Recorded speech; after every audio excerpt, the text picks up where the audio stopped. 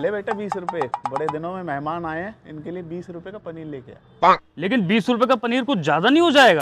कोई बात नहीं बेटा जो बचेगा फ्रिज में रख देंगे। भाई कंजूसी की भी हद होती है।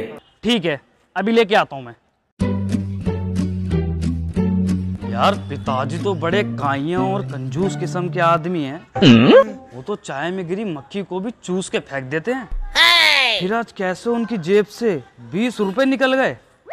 चल मुझे क्या? जाता हूँ दुकान पे। भैया ये बीस रुपए का पनीर दे दो। और सुनो बढ़िया और अच्छी क्वालिटी का देना एकदम ताज़ा पनीर। अरे भैया टेंशन मत ना लो हमारा पनीर बहुत ही बढ़िया है। खाओगे तो ऐसा लगेगा जैसे मक्खन खा रहे हो। मक्खन जैसा लगेगा? इसका मतलब पनीर से अच्छा मक्खन होता है। फिर तो मुझे मक्खन ही लेना चाहिए। पिताजी भी खुश हो जाएँगे। भैया आप मेरे बीस रुपए दे दो मैं मक्खन लूँगा जाके। क्या पागल आदमी था? हेलो भैया आपके पास मक्खन मिल जाएगा क्या? हाँ जी मिल जाएगा। हाँ जी बीस रुपए का दे दो। ठीक है भैया अभी ला रहा हूँ। ये लो भैया आपका मक्खन। भैया मक्खन ठीक तो है ताज़ा है ना खराब तो नहीं निकलेगा? अरे भैया कैसी बातें कर रहे हो? हमारे मक्खन बिल्कुल शहद जैसा है। शहद जैसा है? इसका मतलब मक्खन से अच्छा शहद होता है? फिर तो मुझे शहद लेना चाहिए। पिताजी और खुश हो जाएँगे। भैया ये अपना मक्खन वापसी रख लो। मुझे मेरे बीस रुपए दे दो। oh, no. अरे भैया क्या हो गया? नहीं भैया आप मेरे पैसे वापसी दे दो। मैं शहद की दुकान पे जाके शहद लूँगा। लाओ।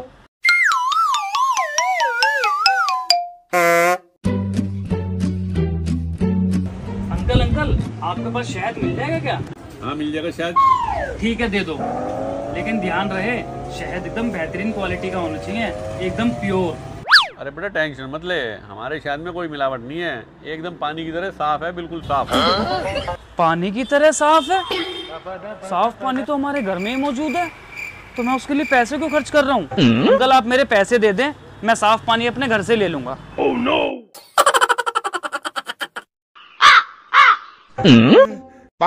अरे भाई साहब कहाँ रह गया तुम्हारा लड़का? दो घंटे हो गए। यार मुझे कुछ ज़रूरी काम से भी जाना है।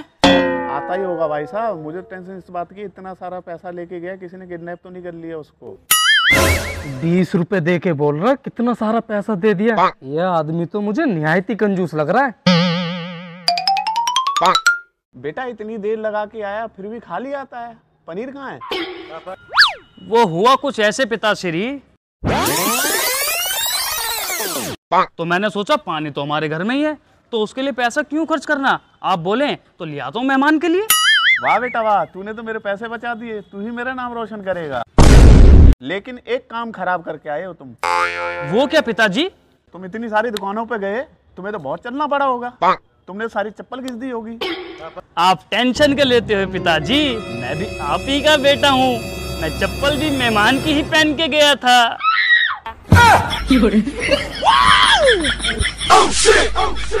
अरे मेहमान कहाँ जा रहे हैं? मैं कुछ और लेता हूँ, आपके लिए, नाराज़ क्यों हो रहे हैं?